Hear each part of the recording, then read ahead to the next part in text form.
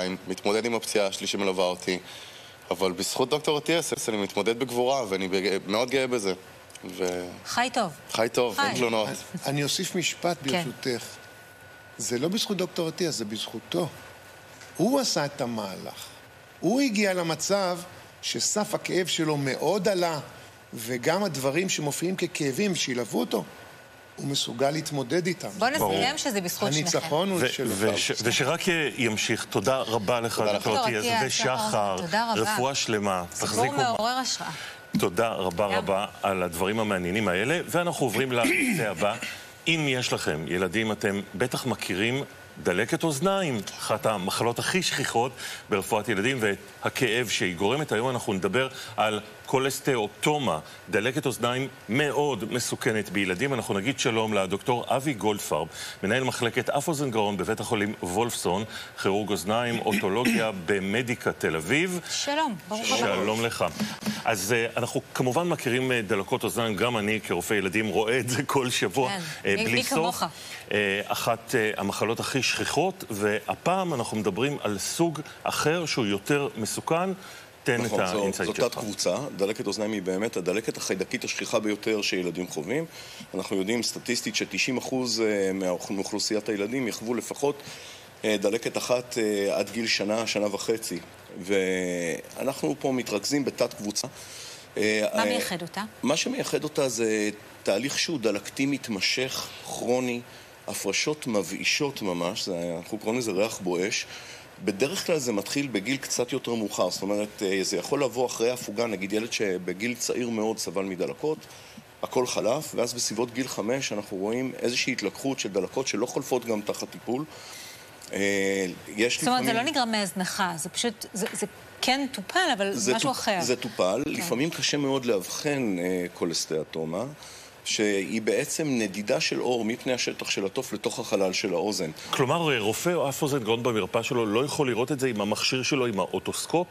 זה אה, דורש איזושהי בדיקה מיוחדת? אה, קודם כל זה, זה לפעמים מאתגר, ובדיקה אוטוסקופית רגילה לא מספיקה, לפעמים צריך בדיקה עם אה, מיקרוסקופ אוטולוגי, ולא בכל מרפאה יש את זה, אבל רצוי להגיע אז במקרים כאלה שיש חשד למומחה אוזניים, שבדרך כלל, יחזיק, שבדרך כלל יחזיק את הציוד הנדרש כדי לעשות את ההבחנה. אז רגע לפני שאתה תדבר על הטיפול, איך אה, הוא מתבצע, אה, אולי כמה נורות אזהרה להורים.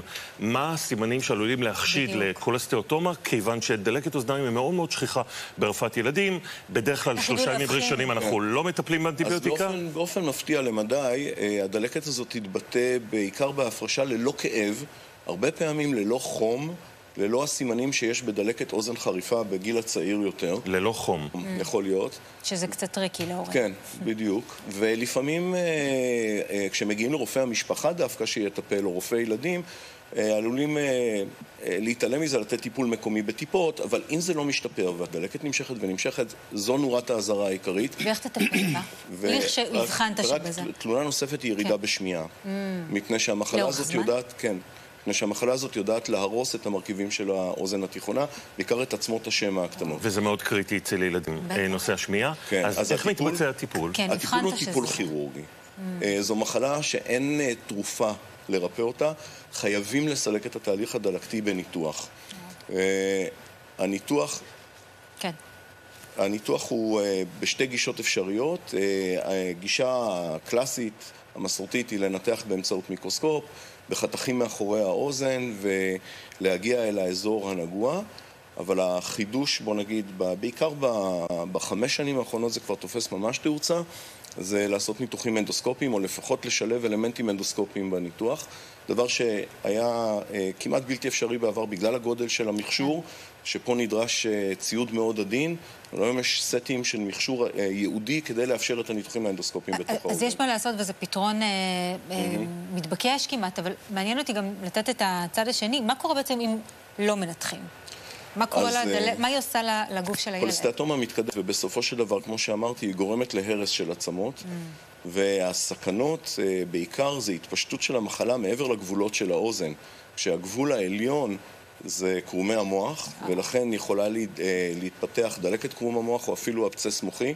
ולפעמים במחלה כזאת שלא טופלה, זה יכול להיות המופע הראשון שמגיעים איתו לטיפול. כבר ב...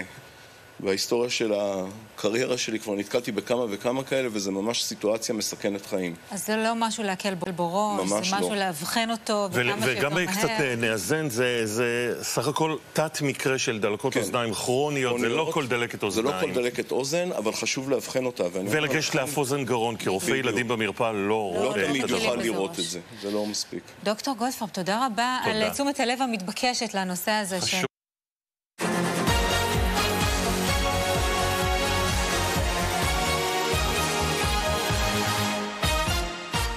שלכם, אנחנו בעדכון מיוחד בעקבות דיווח ראשוני על אירוע ביטחוני בכביש 431.